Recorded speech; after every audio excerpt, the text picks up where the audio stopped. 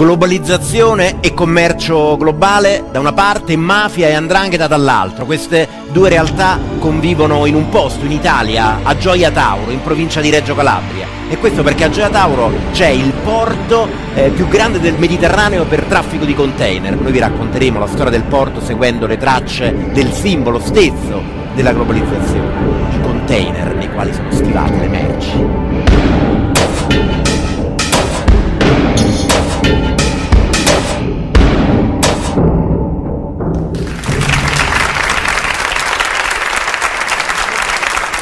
La nostra storia, la nostra storia comincia alla stazione di Salerno.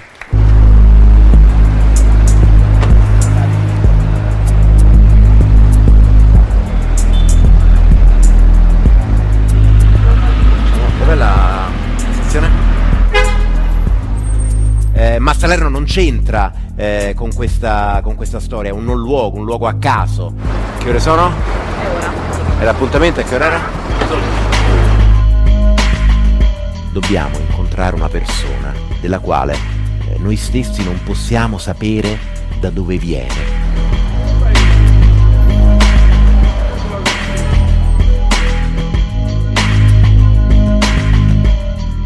E non possiamo neanche riprenderla in faccia questa persona, però possiamo dirvi come si chiama. Si chiama Bruno Fuduli e ha paura, molta paura. Va bene. Camminare per le strade si ha paura, la notte soffro di insonnia. Io ho il coraggio di dire che ho paura. Fuduli eh, faceva l'imprenditore del marmo in un paesino eh, che si chiama Zungri, eh, in provincia di Vibo Valencia, in Calabria. E in Calabria c'è l'andrangheta. Ero sotto usura e quindi eh, soggetto a tangenti che mi prestavano dei soldi con usura dal, dal 100 fino al 200% 200%. l'anno. Non ce la fa più Fuduli a pagare, è nelle mani dei mafiosi. E a quel punto, per pagare i suoi debiti, eh, gli chiedono i mafiosi eh, qualcosa di diverso dal denaro, qualcosa di più. Mi sono dovuto adeguare a determinati sistemi loro di poter fare da emissario e trattare delle partite di cocaina. Perché era utile proprio lei? In Sud America avevo una cava di granito, da lì ho cominciato ad estrarre dei materiali e commerciarli verso l'Italia. eh, Fuduli, lo abbiamo detto, commercia granito tra la Colombia e l'Italia. E l'andrangheta è monopolista del traffico di droga, di cocaina tra la Colombia e l'Europa. Fuduli, evidente, fa proprio al caso loro. Io dovevo trattare in base alle loro direttive le partite cocaina che dovevano inviare attraverso i blocchi di marmo dove veniva occultata la cocaina. Lui produce il marmo, lo carica nei container delle navi e le navi lo portano in Europa e quel marmo si presta proprio ad essere un ottimo nascondiglio eh, per, la, per la droga, per la cocaina.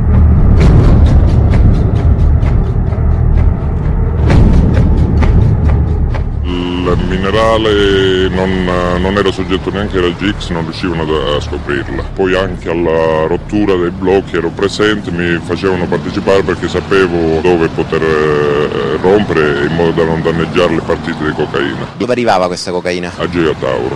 Dentro i container? Sì, sì, dentro i container.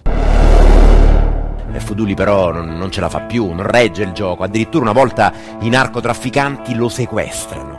Mi hanno portato presso una campagna, mi hanno messo dentro questa casetta e a stare lì in ostaggio controllato da 10 persone con mitra e pistole finché non avessero pagato in Calabria. Lo trattengono fino a che non hanno la certezza che la droga sia arrivata a destinazione e che i pagamenti siano stati effettuati. Allora Fuduli dice basta, eh, vada ai carabinieri e parla. Sono andato ai carabinieri, quindi da lì ho cominciato la collaborazione. I carabinieri arrivano con i cani e sequestrano 4.600 kg di cocaina purissima. È un tesoro.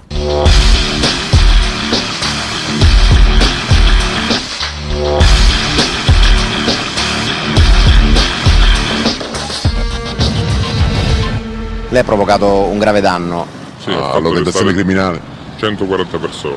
Lei ha fatto arrestare 140 40 persone. Un giorno o l'altro mi succederà qualcosa, mi uccideranno, mi, mi cercheranno, mi staranno già cercando. Lei lo sa per certo che lo uccideranno? Sì, sì, sì, lo so per certo. Perché l'andrangheta agirà a lungo tempo, non subito, col tempo, anche tra 10 anni, anche tra 15 anni, non dimentica. Anche tra 20 anni, prima o poi mi aspetterò qualcosa. La cocaina era nascosta nei blocchi di marmo i blocchi di marmo erano nascosti dentro eh, i container, i container che eh, tutti i giorni attraversano i nostri mari imbarcati su navi enormi. Eh, queste navi vengono soprattutto dalla Cina e queste navi arrivano soprattutto qui. A Gioia Tauro.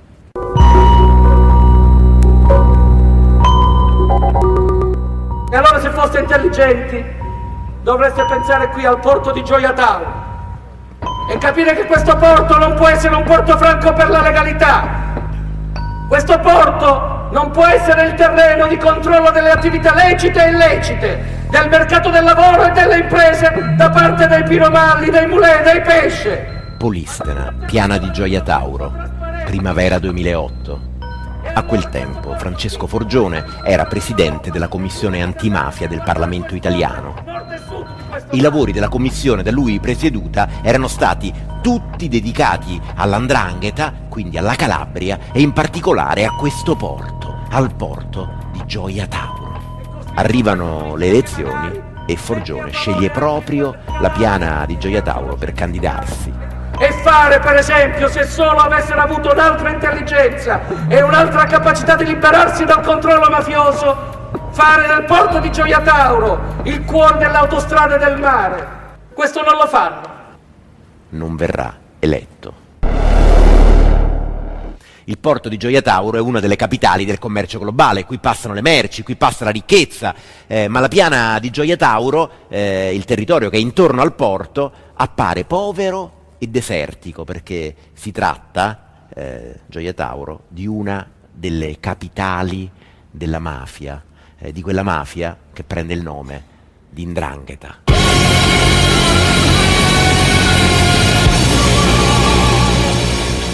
Se avete bisogno di un paragone per capire cos'è Gioia Tauro, eh, bisogna andare con la memoria a Corleone, la città di Totorrina, di Provenzano, Corleone negli anni Ottanta. Gioia Tauro è una cittadina fatta quasi interamente di case non finite, non intonacate. E lo stesso si potrebbe dire di Rosarno, che è l'altro comune eh, nel cui territorio si trova il porto di Gioia Tauro. Ndrangheta come cosa nostra, infatti l'Andrangheta oggi è la mafia più potente d'Italia e quindi una delle più potenti del mondo. C'è il timbro dell'Andrangheta nella bomba comandata a distanza che ha travolto Antonino Princi, imprenditore molto noto in Calabria. Come il Libano. Apri la macchina e... pum.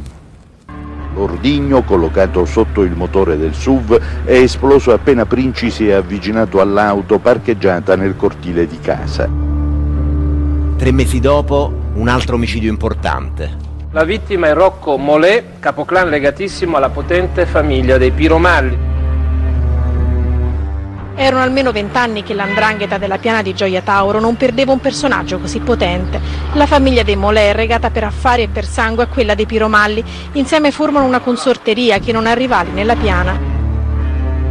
E la situazione è tale in quel territorio che anche il comune di Gioia Tauro è stato sciolto da autorità, sciolto per infiltrazioni mafiose. E a leggere le carte che hanno portato a questo scioglimento si scopre che secondo gli investigatori quasi tutti i consiglieri comunali di Gioia Tauro avrebbero eh, rapporti o parentele con le endrine, con le famiglie mafiose locali.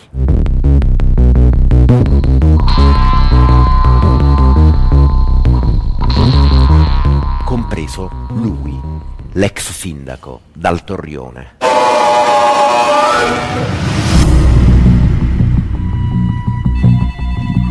Tutti questi rapporti, queste parentele dei consiglieri comunali, secondo lei sono invenzioni? queste parentele. Sa qual è la parentela più eclatante che ci ha riportata?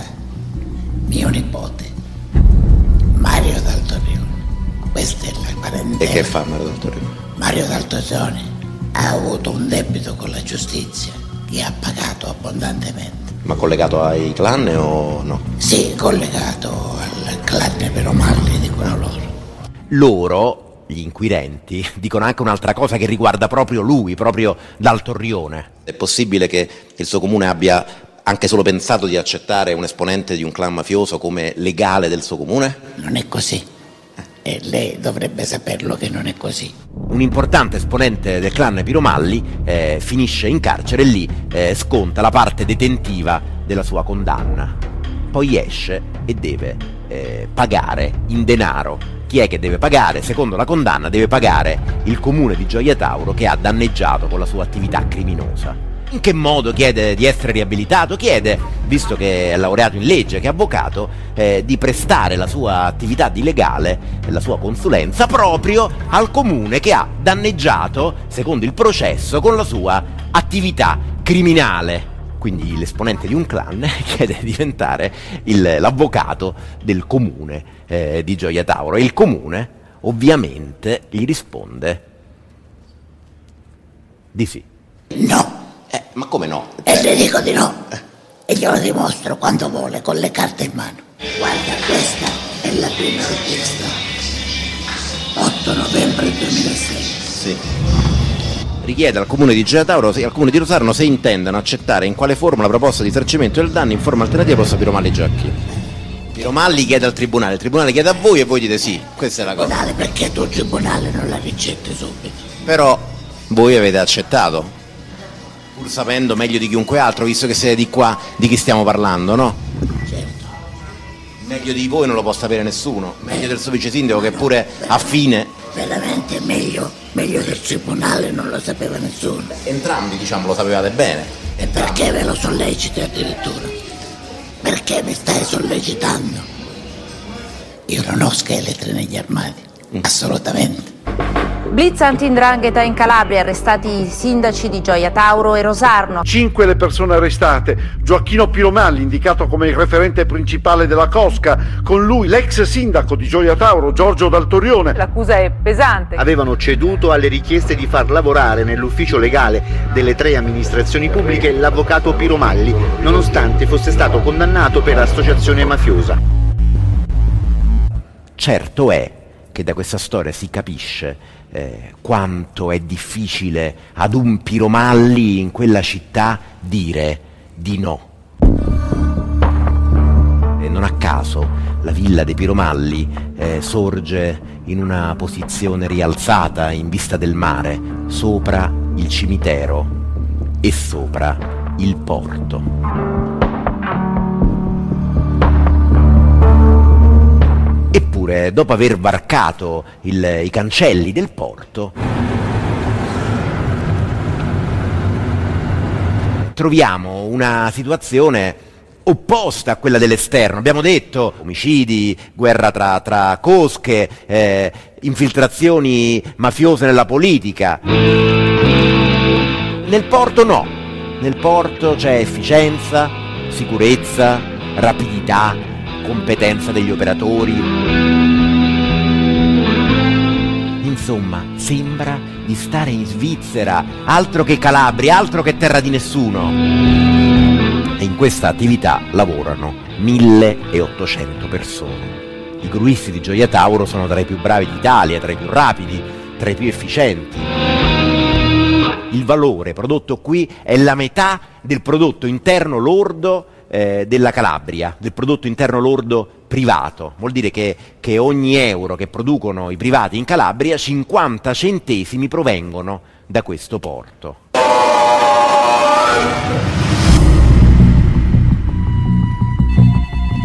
Con eh, lo sviluppo dell'Indocina, Cina, India, eccetera, il Mediterraneo è ritornato ad essere la grande via del commercio, per cui tutte le merci che vanno da e per gli Stati Uniti, eh, da e per eh, l'Indocina eh, passano quasi tutte dal Mediterraneo e Gioia Tauro è al centro, per cui arrivano grandi navi cariche di contenitori, eh, scaricano i container in questo grande terminal, poi arrivano piccole navi, le navi feeder, e eh, per l'impossibilità delle grandi navi di accedere in tutti i porti, partono queste piccole navi e distribuiscono la merce all'interno del Mediterraneo.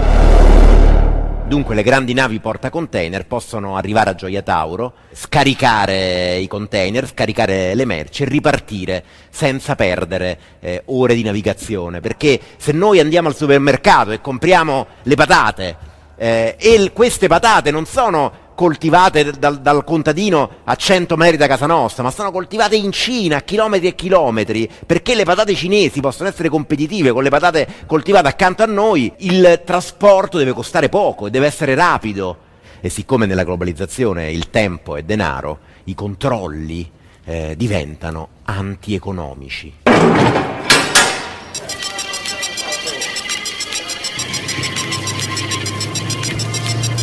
Questi container vengono, sono stati e vengono utilizzati per trasportare di tutto. Sono state trovate armi, è stata trovata droga, trovata, sono stati ritrovati rifiuti pericolosi, è stato trovato il rame. Per esempio queste che sono? Sono caramelle. Cinesi? Sì.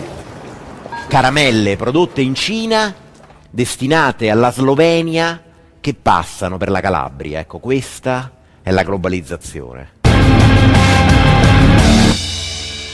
E poi, e poi, visto che dal porto di Gioia Tauro passano queste, questi grandi quantitativi di merci, ovviamente nel porto ci sono tutti i servizi segreti dalla CIA in giù, perché in mezzo alle merci eh, del commercio globale possono anche viaggiare le armi del terrorismo globale, le armi e gli esplosivi.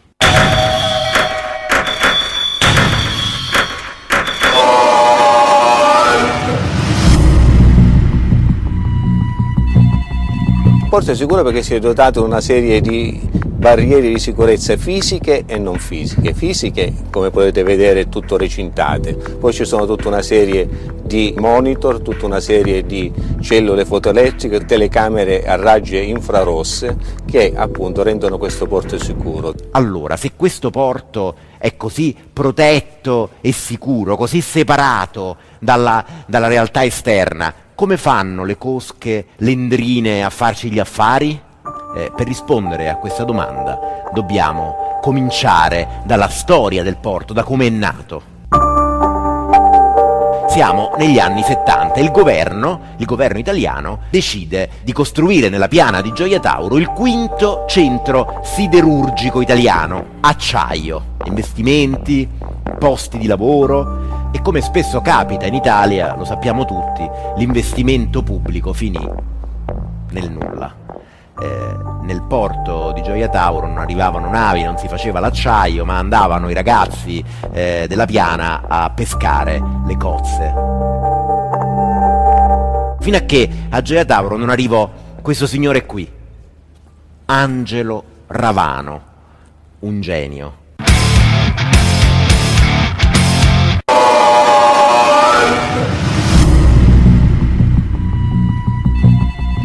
Angelo Ravano era il padre padrone della Consip Italia.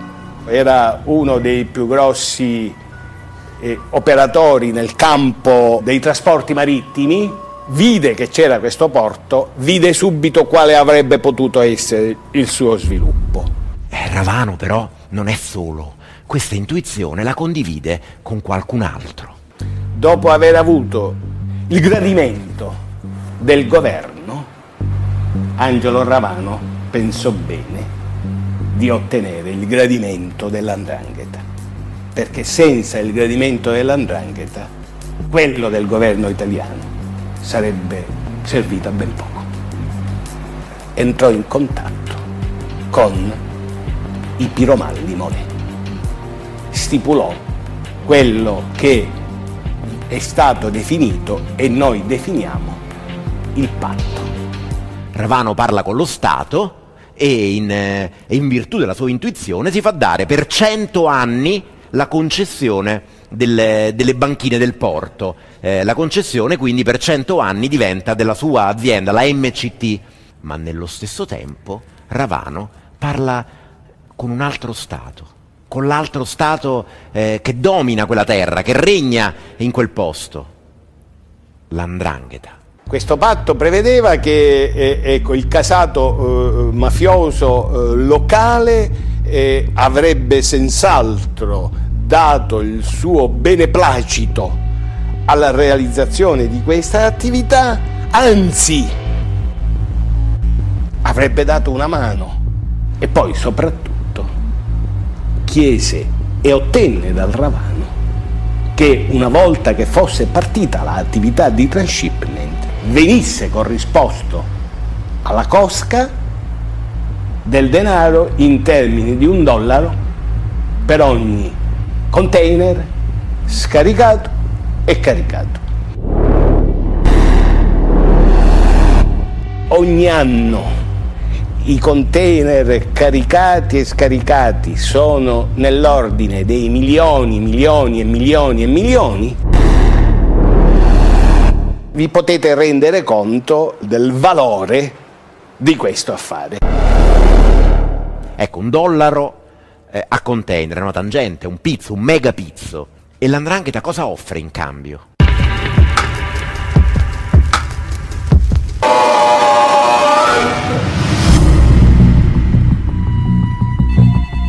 È un'agenzia di assicurazione. La mafia garantisce che per esempio un container non venga aperto, è una polizza assicurativa. Si dice che il porto di Giotaro sia uno dei più sicuri, no? Dal punto di vista del terrorismo. Sì, sì, sì, sì. C'entra anche l'andrangheta in questa operazione di sicurezza? Beh, chiaramente, io credo di sì, ecco, non, non vorrei essere presuntuoso. Sì, l'andrangheta garantisce proprio il buon esito delle operazioni e per questo, come qualunque agenzia, viene pagata. Angelo Ravano muore prima che l'affare possa concludersi e i suoi successori cambiano radicalmente strada. Questo signore è il successore di Angelo Ravano. La Conship è la multinazionale specializzata nel trasporto marittimo che ha fondato la MCT, Med Center Container, che gestisce il terminal del porto e il trasbordo delle merci.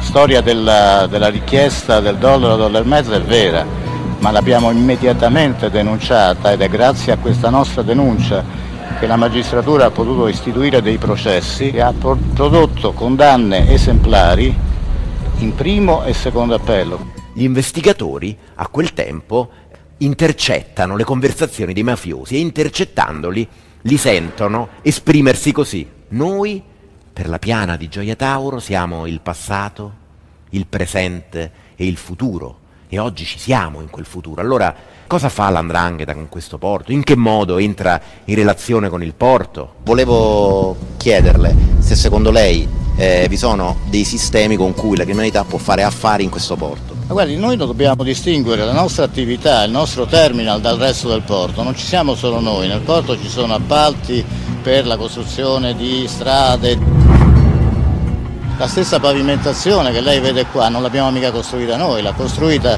l'autorità portuale, quindi lo Stato attraverso degli appalti. Che negli appalti ci possa essere stata infiltrazione, questo io non lo so, ma è probabile.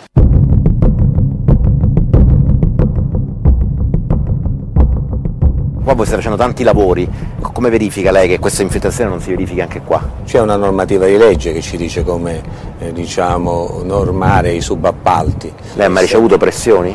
No, assolutamente no. Di nessun tipo? No, no, almeno fino ad oggi no siccome ogni tanto ammazzano degli imprenditori eh, quando si interpongono con interessi mafiosi, qua succede, qua nella piana spe- spesso è successo anche di recente, Beh. e invece qua non succede, uno pensa... Vuol dire che... giornali, come faccio a dire no? No, vuol dire che, vuol dire che, eh, che in qualche modo eh, questo, questi affari non interagiscono in senso negativo con quelli delle cosche, perché altrimenti farebbero qua degli attentati come fanno da, nel resto delle attività economiche calabresi.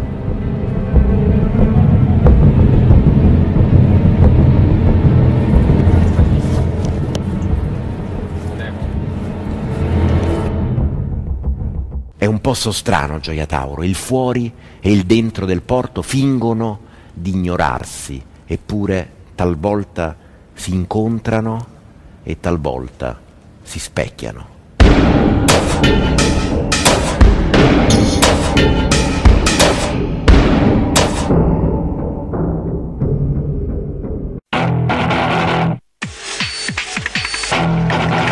A Gioia Tauro, in Calabria, c'è il più grande porto del Mediterraneo per traffico di container. In quel traffico l'andrangheta non c'entra, sembra che però sia interessata ai lavori di ampliamento del porto. Siamo nella primavera 2008, ad aprile, e a Gioia Tauro c'è una riunione importante, arriva il governo. Si deve parlare eh, del futuro del porto e del suo ampliamento. Oh, sono un sacco di soldi. eh, perché il- dal futuro del porto di Gioia Tauro dipende probabilmente il futuro di tutto il mezzogiorno d'Italia. Quindi parliamo di un 300 milioni di, di manovra pubblica nell'arco di 4 anni che possano attivare partecipazioni, investimenti privati e quant'altro che possono portare a questa cifra. Ecco, la domanda è questa, questi soldi dove finiranno? Per capirlo non ci vuole la sfera di cristallo, per capirlo basta entrare in un fortino, in una specie di caserma, in un luogo blindato come una base della CIA in Afghanistan. Invece, siccome siamo in Calabria, si tratta semplicemente di un'impresa edile, l'impresa di Gaetano Saffioti. È normale? Da queste parti dovrebbe essere normale. È mai È stare- tanto normale. A Beirut dice, o nei Eh. Iraq. Cioè, un imprenditore che vive come in guerra. Ma qui siamo in guerra. Forse le sfugge questo. Qui siamo in prima linea, in trincea, a combattere il fenomeno dranghetista.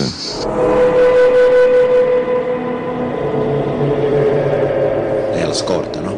Sì. E suo figlio è sotto scorta anche? Eh, chiaramente. Ma io non nascondo che più per mio figlio io voglio la scorta che per me, insomma.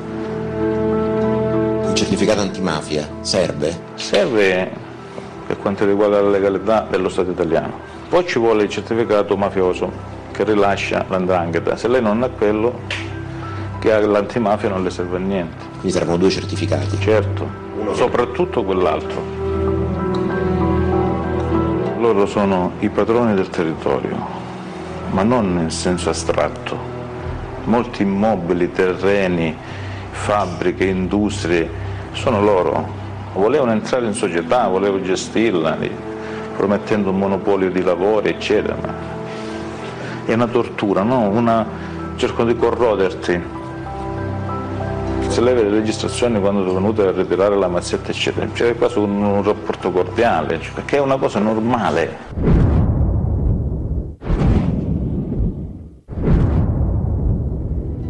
Sono, sono andato al nord, anche se lì abbiamo avuto problemi, ci hanno bruciato camion, hanno allontanato autisti, ma giusto se mai ce ne fosse bisogno per dirmi noi, noi siamo qua. Perché cercano sempre di distruggerti economicamente per portarti alla pazzia, no? Perché poi dire io ero qualcuno, adesso sono nessuno. La cosa più logica sarebbe andarsene, ma andarsene è una resa e siccome sono convinto che le battaglie si combattono in trincea, in prima linea, non nelle seconde linee oppure si tira il sasso e si scappa, e non voglio scappare. Nel 2001, grazie alle denunce di Gaetano Saffioti, eh, vengono arrestate 50 persone. L'indagine ha svelato che l'andrangheta su qualsiasi appalto che venga assegnato in quella terra guadagna tra il 3 e il 4%. Questa è la resa quindi dello Stato, dello Stato vero, perché nel momento in cui il grosso gruppo decide di dare il 3, 4, il 5% dei suoi proventi nel costruire un'opera al sud, stabilisce di farlo con la mafia, si rende responsabile non soltanto di un reato, ma si rende responsabile di una resa incondizionata della parte sana del paese nelle mani del crimine organizzato e che truffa lo Stato. Qui conviene sfruttare, tenere l'area depressa, così confluiranno sempre fondi, vede che mandano sempre soldi continuamente. Ma dove sono questi soldi? Sono 50 anni che mandano soldi. Quando non arriveranno più aiuti non ci sono più gli intrecci politici, mafiosi che possono diciamo così, veicolare questi soldi per poi reinvestirli, non qui, perché sennò diventerebbe un, una buona zona, le investo su. I soldi sono lì, sono in Germania, sono in Francia, sono in Portogallo, so- sono in Europa i soldi. I loro locali, i loro pub, i loro panini sono mafiosi. Ecco, lo abbiamo capito dove finiscono eh, i soldi pubblici investiti in Calabria. E non sono quelli per le, per le grandi infrastrutture gli unici soldi spariti. C'è una legge in Italia per sviluppare le imprese nelle aree depresse, si chiama 488 ed è una legge che ovviamente è stata utilizzata per finanziare le attività economiche intorno al porto, perché passa, eh, passano centinaia di container, migliaia, milioni di container lì, quindi è naturale, è giusto che sorgano intorno al porto delle imprese che possano eh, lavorare le merci che passano di lì e quindi fare in modo che lo sviluppo eh, esca dal porto e, e si diffonda nel territorio. E invece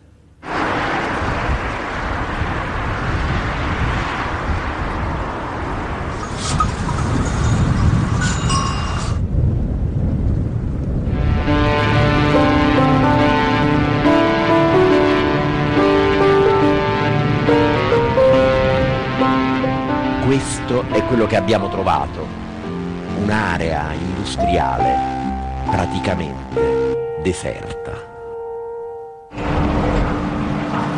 Le uniche imprese che invece abbiamo trovato attive in quei capannoni intorno al porto, col porto non hanno nulla a che fare, sono imprese eh, sempre e comunque collegate con l'edilizia. Ho visto un sacco di capannoni vuoti. Sì.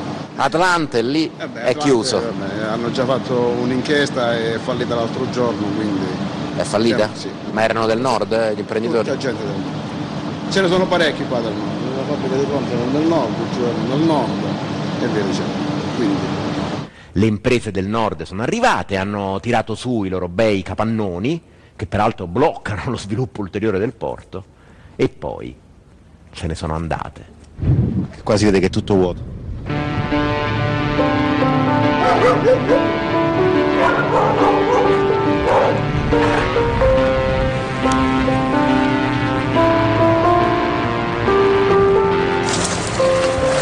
C'è nessuno? Allora, dentro il porto l'abbiamo visto, c'è una multinazionale che fa affari leciti eh, con il traffico dei container, un traffico milionario. E fuori dal porto, l'abbiamo visto, c'è il deserto. E l'andrangheta? La presenza ci sta. Piromalli, eccetera, tutti questi signori qua, non è che se fanno una società di gestione servizi portuali intestate a Piromalli, Giacchino, amministratore delegato. Però si sa insomma che ci sono. Ma certo, lo sappiamo, certo.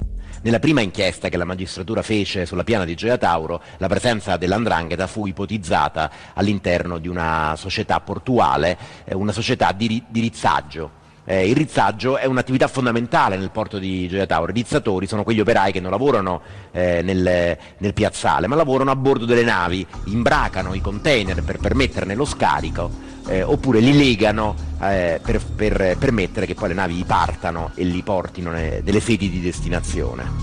Il loro, quello dei rizzatori, è uno dei lavori più pericolosi e meno garantiti. Inoltre gli operai di rizzaggio sono spesso riuniti in cooperative e all'origine eh, di cooperative di operai che si occupavano di questa attività ve n'era soltanto una che era monopolista eh, del porto, si chiamava la Mariba. Questa società, la Mariba, compare negli atti della commissione parlamentare antimafia che si è occupata in particolare del porto di Gioia Tauro.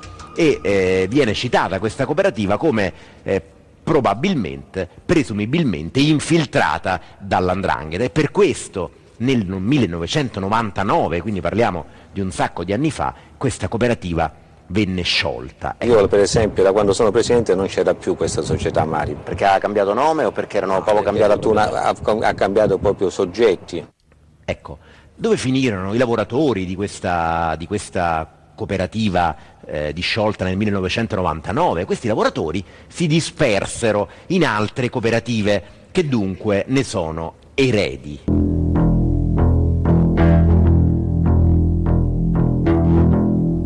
Tra le società eredi della Mariba c'è la All Service. Oggi però la All Service è qualcosa di più. Di più importante di una semplice società di rizzaggio. Si tratta di una vera e propria impresa portuale con commesse importanti, scarica anche il petcock che è eh, la materia che viene bruciata in un eh, importante cementificio della zona. E nel piazzale della All Service troviamo un clima strano. C'è un responsabile? No, no, Posso intervistarvi, no? A quale scopo, a quale titolo? Perché Sempre spiegato noi abbiamo avuto una storia molto grande. Cioè? Da sto porto abbiamo una storia. Eh, Dal 99 che siamo così. In mezzo alla strada. vi presentate però. Non ho capito, scusa. Troppo tardi vi presentate. In che senso? Eh, c'è stata una Sono lotta. passati troppi anni per Due mesi presentare. fa, un Oggi mese si fa. vede qualcuno, ma negli anni belli non vi siete mai fatto vedere nessuno. La migliore parola è licenziamento. Ti licenzi. Quindi tu sei schiavo. Ma voi lavorate adesso o no? Non ho capito. Siamo rovinati. Stiamo rendendo perché lavoro non ce n'è qui. Aspettiamo il badge per andare dall'altra parte. Cioè non vi fanno entrare nell'area... Dobbiamo aspettare Dopo dieci anni. Ma prima c'entravate però. Abbiamo lavorato per dieci anni. Sembra che questi lavoratori che sono stati autorizzati per anni dall'autorità portuale ad entrare nel porto, ora incontrino dei problemi a farsi rilasciare il badge. Questa autorizzazione viene negata dalla prefettura. Sette persone che hanno lavorato per dieci anni in cui lui e lui sono presenti, me li sente e dicono, dice che sono mafiosi. Hanno fatto il porto, sì ragazzi. Loro, per loro siamo tutti quanti mafiosi. Ma il certificato penale ce l'avete pulito? Pulito, nulla, Nulla, pendente penale, nulla. Proviamo di famiglie. Eppure che ce Lavoratori. sporco, scusa che ti dico una domanda, di ce l'avevo oggi. sporco il certificato penale. Fino avanti da assumere uno da Ionica, che fece 50 omicidi e stai lavorando in suo porto. I miei figli che mi governano, quando io ho figli in la casa che la moglie con tutto un sacco di debiti. C'è la mafia, questo è il mafia. E alla fine arriva il capo di questi lavoratori. Se volete fare le domande siete eh, liberissimi di farle e vi do l'ascolto. Però eh, siete un giornalista libero. sì. Io sono Arena. Alessandro è? Sortino. E mentre intervistiamo Giuseppe Arena, non abbiamo idea di quello che sarebbe successo di lì a poco. Questa società si chiama Cooperativa Lavoro. L'amministratore unico è di Roma che ha rilevato, diciamo, è subentrata alla Exol Service che si occupa di operazioni e servizi portuali nel porto qua di Gioia Tauro. Cooperativa Lavoro, allora non si chiama più All Service. La All Service a quanto pare è fallita nonostante tutti i finanziamenti pubblici che aveva percepito ed è stata acquistata da una società romana specializzata in esternalizzazione del personale, la Cooperativa Lavoro. Leggiamo sui giornali, Gioia Tauro è un, un luogo dove c'è la criminalità. Eh, poi siamo venuti in questo porto e invece ci hanno tutti detto che la criminalità nel porto non c'è. Ecco, qual è la sua esperienza? Che cosa si intende per criminalità? Criminalità locale o diciamo delinquenza? Che cos'è la delinquenza? Quando, eh, quando ci sono apparati, apparati che inspiegabilmente diciamo, creano dei concetti ostativi camuffandosi dietro la burocrazia. Che cos'è secondo lei questo? Allora, io sono di un concetto, che una persona che è un criminale deve stare dietro le sbarre e non fuori. Se sta fuori le sbarre vuol dire che ha diritto di vivere e sopravvivere. La sera stessa di quella intervista, questo era quello che avveniva di fronte alla sede della questura di Reggio Calabria. Inizialmente da milioni di euro e intorno a questo affare si scatena una vera e propria guerra di mafia. Da una parte ci sono gli Alvaro, che sono una famiglia emergente, eh, dall'altra ci sono i Molè, eh, una famiglia storicamente alleata eh, con eh, i regnanti di quella zona, con i Piromalli. C'è un colpo di scena però. Secondo gli investigatori i Piromalli abbandonano i Molè e si alleano con gli Alvaro. C'è un salto di qualità, il salto di qualità è quello che riescono a fare gli Alvaro, che si raccordano con un altro imprenditore che è stato fermato, un imprenditore romano, Dardes, il quale con gli Alvaro diventa socio e riesce a mettere le mani su questa cooperativa. La vittoria, se così si può dire, di Dardes e Alvaro e la sconfitta di Molè si consuma il 31 gennaio. Il primo febbraio, Rocco Molè, il più alto in grado eh, degli esponenti di quella famiglia, tra quelli fuori dal carcere, viene ucciso a Gioia Tauro per strada. Ma al di là della guerra tra famiglie, che non è una novità da quelle parti, eh, in questa storia c'è un aspetto singolare. Eh, non si parla di pizzo, di tangenti, di controllo di appalti pubblici, stavolta si parla di impresa.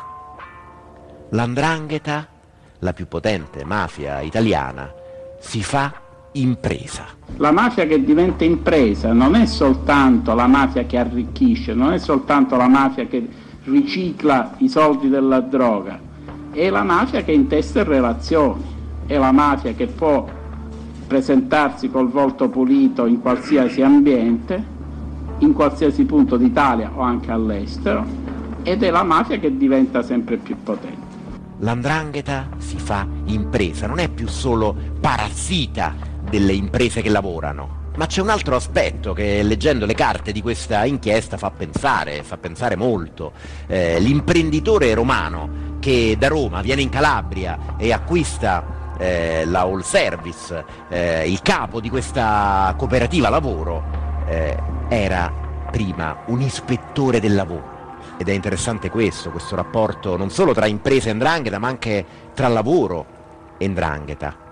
Il controllo della forza lavoro infatti è uno dei principali obiettivi di tutte le mafie e questo, come vedremo, ha un peso enorme negli affari del porto.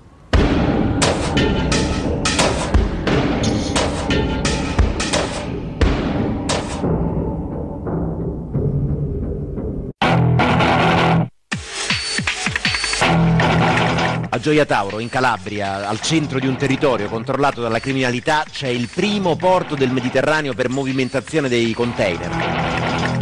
Qui arrivano le merci dall'Oriente vengono trasbordate da navi grandi a navi piccole. Tutto si gioca sul tempo e sulla rapidità dell'operazione di carico e scarico, sul tempo e sul costo, sul costo del lavoro. Oggi nel porto c'è una festa.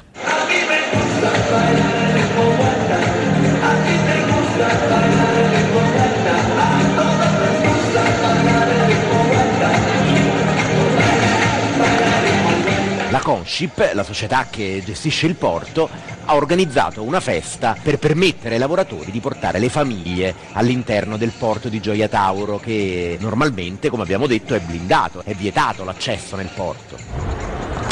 Estrazione del premio numero 29, estintore auto. E quindi arrivano le mogli, i bambini degli operai portuali. La Conship eh, distribuisce un kit per i bambini, il kit del piccolo portuale con tanto di pettorina fosforescente. I bambini si esercitano a utilizzare le gru. I lavoratori, insieme a moglie e figli, si fanno le foto con il loro datore di lavoro. C'è un prete, c'è anche una specie di mostra. Come vedi ci sono delle aree, c'è un'area relax. Allora concettualmente dovremmo riuscire a farti vivere un concetto di, di sicurezza. Questo cos'è? Questa è la terra della nostra gente, la gente che lavora qui. Questo è il nostro porto, raccontando quello che è Gioia Tauro, perché Gioia Tauro è veramente al centro del mondo oggi. Ecco, questo è il concetto della nostra... Ehm, lo stand dell'andrangheta? Perché eh, siccome parliamo di una cosa così, la terra, l'olivo, la... Certo. c'è anche quello, insomma. Probabilmente, qui noi siamo un'azienda che, che- che lavora e, e cerca di lavorare in modo positivo e ci piace anche parlarne in positivo. Io non so se sono riuscito a trasmetterti l'entusiasmo col quale noi lavoriamo qui. No, no, sì, sì, me l'hai trasmesso. Purtroppo però non tutti i lavoratori condividono questo entusiasmo. Scioperiamo perché siamo stanchi, come lavoratori, di vederci negato il diritto di difendere e pretendere i nostri sacrosanti diritti. Come portuali di Gioia Tauro siamo qua a manifestare e a scioperare perché è un nostro diritto e qualcuno ce l'aveva impedito o tentava di impedirci di scioperare. Dobbiamo unirci, lasciamo stare chi vuole impedire e che fare abbassare la voce o tappare la bocca o dire basta. Per dieci anni gli operai di Gioia Tauro hanno accettato condizioni di lavoro più dure e stipendi più bassi dei loro colleghi eh, che lavorano al nord e questo per favorire eh, lo sviluppo di un porto giovane e importante per l'economia del posto. Poi a settembre del 2006 finalmente arriva la discussione del contratto integrativo, un'occasione per allineare le retribuzioni a quelle dei loro colleghi dei porti di Genova, di Trieste, di Venezia. I sindacati discutono con la proprietà, propongono il contratto ai lavoratori, ma nelle assemblee i lavoratori eh, lo bocciano. I sindacati però ritengono che quell'accordo sia il migliore possibile e firmano lo stesso. A quel punto molti, moltissimi degli operai portuali di Gioia Tauro entrano in sciopero. Si tratta del primo sciopero nella storia del porto di Gioia Tauro. Uno shock.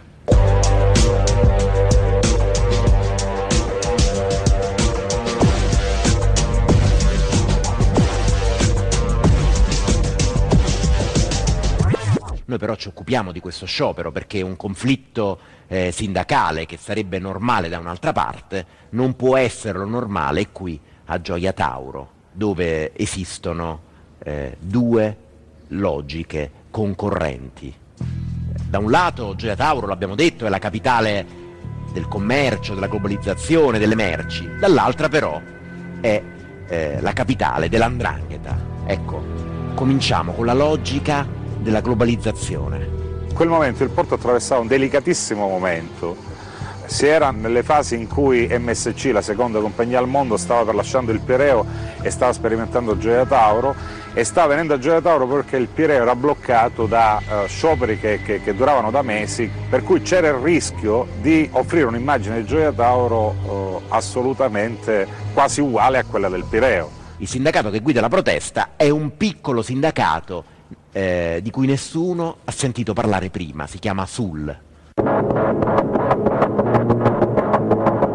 E su di esso, sul sindacato, piovono le critiche più spietate, addirittura l'amministratrice delegata del, della società che gestisce il terminal dichiara smettano i lavoratori di Gioia Tauro i lavoratori del porto di Gioia Tauro di fare figli perché noi ce ne andremo e non ci sarà futuro. Occorre avere il coraggio di dirgli di non fare più figli e di non fare più famiglie perché per dieci anni non ci sarà più da mangiare e potranno solamente una volta vincere un porto. Cioè questi tipi di minacce funzionano benissimo. È un territorio guarda, ad alto tasso di disoccupazione. Avere un, un posto di lavoro qua significa quasi quasi essere un sultano. In Calabria le industrie non ci sono, i lavoratori portuali nel loro mercato, nel mercato della piana di Gioia Tauro, sono dei privilegiati, sono dei, dei, dei sultani, hanno stipendi, hanno ferie pagate, malattie pagate, hanno la liquidazione, avranno persino, pensate, una pensione e non possono dei lavoratori così neanche pensare eh, di paragonarsi ai lavoratori del nord, perché hanno altri lavoratori con cui confrontarsi, è la globalizzazione, è questa, no? Eh, ci sono i lavoratori del sud, sono loro la pietra di paragone, eh, perché a sud, a sud di Gioia Tauro ci sono tanti porti, tanti porti che sono pronti, se Gioia Tauro sciopera, se Gioia Tauro eh, smette di lavorare, ad accaparrarsi le merci, la ricchezza, gli affari, il lavoro.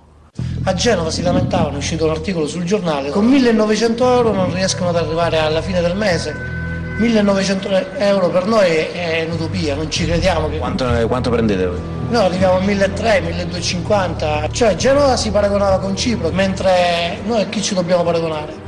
Se sentiamo parlare dall'amministratore delegato che noi dobbiamo confrontarci con, le, con i porti del Nord Africa, per noi non c'è speranza. Nel mercato globale il tempo e il costo dello scarico delle merci entra nel prezzo finale, per cui eh, fermare quello sciopero diventa una questione di vita o di morte. Ci sono state delle macchine danneggiate, non sappiamo, certo le denunce che hanno fatto i miei colleghi le hanno fatte ovviamente ad ignoti, eh, però stranamente in coincidenza di scioperi eh, era successo questo. Mo posso pure pensare che c'è qualcuno che ci marcia. Vengono danneggiate le automobili di alcuni lavoratori portuali nel parcheggio. Ecco, perché? Sono stati gli scioperanti a prendersela con chi non scioperava? Oppure qualcuno vuole mettere in cattiva luce il sindacato che sciopera? Partono le denunce e le accuse incrociate. Sentito dalla commissione antimafia, l'amministratore delegato della MCT, Iacono, l'abbiamo conosciuto all'inizio, si esprimerà così. Sinceramente, eh, leggo, testuale, non sono tanto preoccupato degli attacchi dell'andrangheta. Noi, dice Iacono, siamo attaccati da altre cose e spiega l'attacco mediatico e quello sindacale. Eh, questo, dice Iacono, è un sindacato che oggi opera nel porto, ma si è presentato con metodi e metodologie assolutamente da attacco terroristico. Nel momento stesso in cui è nato c'è stato uno sciopero, questo sciopero è stato condotto con metodi che noi abbiamo ritenuto quasi terroristici, abbiamo fatto delle denunce, abbiamo denunciato... Come sono finite queste denunce? Non lo so.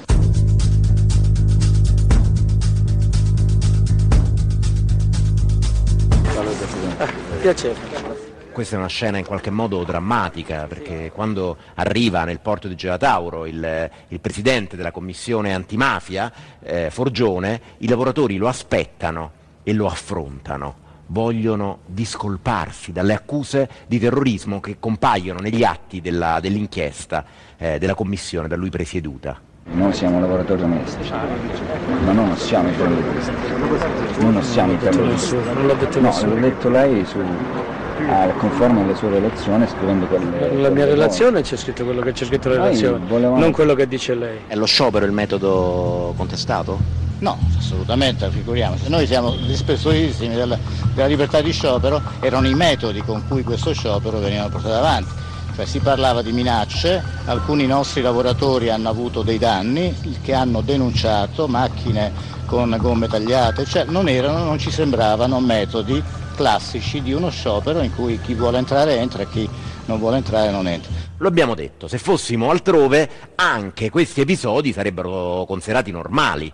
Eh, picchetti, danneggiamenti, liti tra i lavoratori, però qui siamo a Gioia Tauro e ogni fatto assume un significato, ogni episodio viene interpretato da qualcun altro. Negli uffici degli, degli investigatori in quei giorni circola una domanda. Chi c'è dietro i portuali? Si dice, si legge terrorismo, ma si pensa all'andrangheta.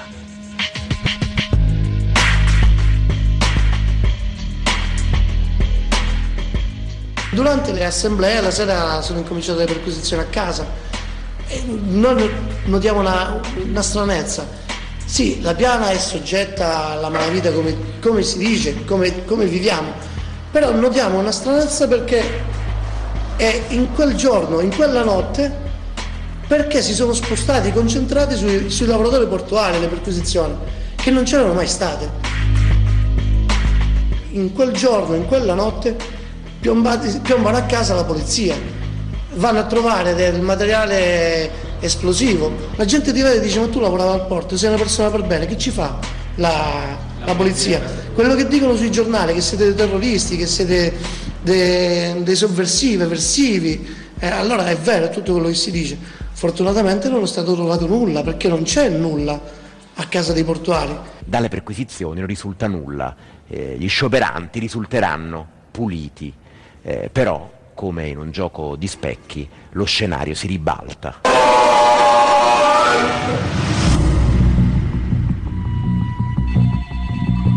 Io fui avvicinato da alcuni lavoratori che mi, mi segnalarono che eh, di fronte al crescere dell'avvertenza sindacale c'erano state delle pressioni perché questa finisse e finisse senza contrasti con, con la proprietà. Pressioni per fermare lo sciopero. Non c'è dubbio che ad un certo punto sicuramente eh, ci fu l'intervento della, dell'andrangheta. Nuccio Iovene era un parlamentare, uno dei membri della commissione antimafia. Nei giorni successivi allo sciopero la Commissione antimafia decide di tenere un'audizione nei locali della, dell'autorità portuale proprio a Gioia Tauro. Vengono sentite tutte le autorità pubbliche e private che hanno a che fare con il porto e Iovene fa questa domanda. Nelle settimane scorse, domanda Iovene, quando l'area portuale è stata investita da una mobilitazione dei lavoratori dell'area portuale eh, da alcune intercettazioni, eh, si sarebbe avvertito un intervento delle cosche di alcune famiglie dell'Andrangheta per bloccare questa mobilitazione dei lavoratori. A me è sembrato giusto che tutti gli interlocutori dell'area portuale fossero a conoscenza di questa questione e ne tenessero conto. Nessuno in quell'audizione a Gioia Tauro, nei locali dell'autorità portuale, risponderà mai a quella domanda. Cosa significa fare questo tipo di lotta in una delle zone eh, più controllate della, della criminalità? No, non tocchiamo questi tasti perché è meglio non toccarli questo anno. Questo lasciamo. Parliamo di organizzazione, altre cose, ma non tocchiamo questi tasti perché qua si rischia sul serio. Sì, rischiamo veramente sul serio. Alla fine un operaio portuale ben informato sui fatti eh, ci parla, ci racconta cosa è successo davvero in quei giorni. Eh, noi abbiamo deciso di oscurarlo, di renderlo non riconoscibile a sua tutela. C'è stata una pressione, sì. Ci sono state pressioni Alessandro, ma le pressioni da noi sono quasi normali, anche se vai a fare un, ti allarghi il, il balcone di casa, cioè fare un abuso edilizio minimo, ti rivolgi... Questa volta eravamo, erano loro che si rivolgevano ai signori, no? Per calmare le acque, quindi è quasi normale. Poi tu capisci un porto come questo, che ha un interesse enorme, che non sono legati solamente al trasshipment, ma sono legati al, ai lavori. Hai visto i lavori che stanno facendo? Cioè tu immagini, tutta la banchina verrà rifatta, ci sono lavori enormi, quindi più tranquilli si sta, meno cogitati ci sono e meglio è. A qualcuno stavamo scomodi, sicuramente, a qualcuno stavamo scomodi, tranquilli. Ma non è che stavamo scomodi per la lotta, vedi, nella lotta non abbiamo avuto problemi. E il polverone che si è alzato, cioè loro non, non avevano problemi se chiedevamo 50 euro in più all'azienda, anzi, il polverone che si alzava era il problema.